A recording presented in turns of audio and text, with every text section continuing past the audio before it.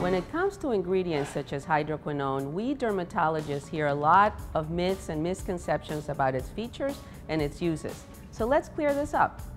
Myth or truth? Hydroquinone is mainly used to lighten the skin overall.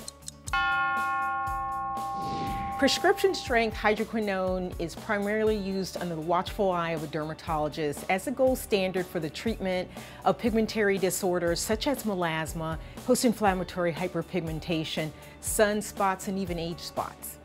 Which is true? Is hydroquinone a natural or chemical substance? Hydroquinone is an aromatic organic compound that naturally occurs in many common foods and drinks such as cranberries, blueberries, pears, beans, all wheat breads and cereals, tea, coffee, red wine, beer, broccoli, and even onions. It appears in the human body through dietary consumption, even those with restrictive diets. When used in higher concentrations in the manufacture of pharmaceuticals or in industrial practices, it is manufactured by chemical synthesis. Myth or truth? Hydroquinone has not been banned in the U.S. Currently, the topical products of hydroquinone are available in the United States in over-the-counter and prescription strengths.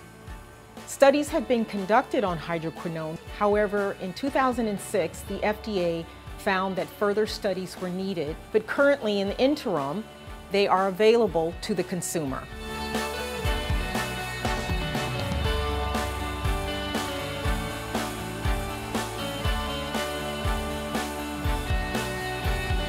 Myth or truth? Not all hydroquinone is the same. Hydroquinone comes in a range of strengths. Concentrations of 2% or less are available over the counter, while concentrations of greater than 2% are by prescription only.